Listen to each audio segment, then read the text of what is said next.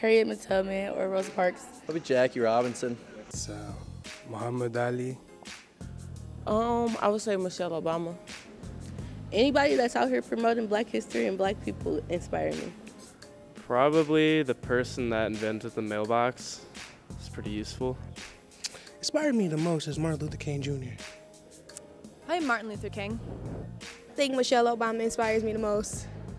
All right, during this month of Black History, somebody who inspired me, I don't know if you heard, but it's this young girl. She like 12 or 13, and she is the youngest fashion designer like in the business, and she's a black, like she's black, of course, and she making money, and she was in New York, um, New York Times Fashion Week. So yeah, that's inspiring.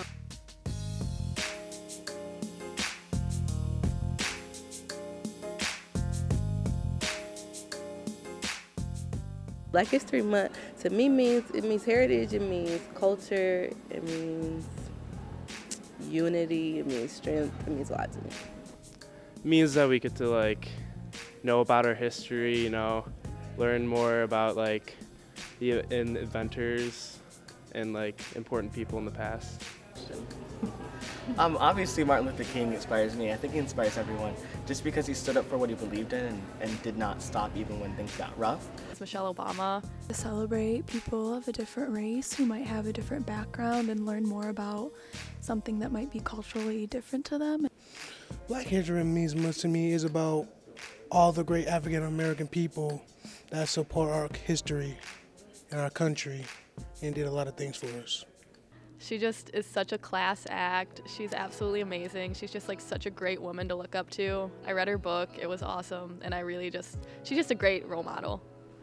Um, I would say Martin Luther King Jr. like it like shows you like background history and like everything you learn. Like you just learn new stuff from new people and like it's like diversity and like the college and stuff. You just learn more. When you're obviously for his pioneering the civil rights movement, all the stuff he did back then. A month where we celebrate everything that my ancestors did and how they impacted this earth. Um, I think it means acknowledging a lot of history that's not always at the forefront of our classes and what people are informed about. So it's a time to actually take the time where it's highlighted and at the forefront of people's minds and being recognized how it should be. It's like a cultural thing for me because I'm black and considering that in America we, we're not taught enough black history, I feel like. Month is a recognition, a well-deserved and very belated recognition of the uh, uh, accomplishments of the African American community in these United States that too long went unrecognized and are only now really coming to full light. Yeah, um, I've always heard about the black history, and I want to tell you that black is beautiful.